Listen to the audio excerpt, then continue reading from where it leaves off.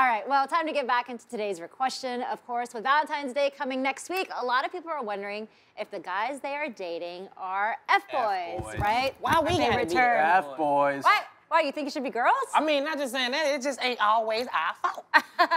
Not always. That's right. Preach. All right. Well, here are some of our favorite responses on Twitter. At C's Dolan tweeted, "They use the dog filter with no shirt on. Oh, that's the the sign of an F boy. That's hilarious.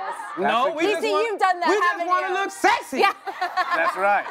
All right. Christina B56 said, if he texts you at 3 a.m. asking you up, that's like the. That's fair. What if he can't go to sleep? What? Do, what do you guys think? Like, how how can girls beware of F boys?